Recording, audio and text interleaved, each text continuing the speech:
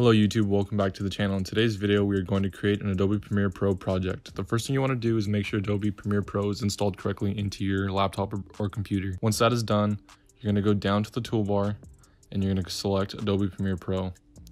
Make sure it's updated to the latest version. This may take a while depending on your computer's power.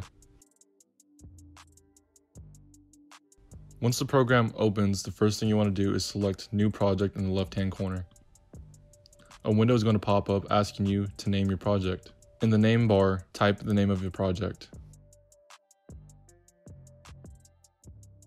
The next thing you want to do is browse a location to save your project. This is going to open up a window and you're going to be able to save your project to a file or location on your computer or laptop.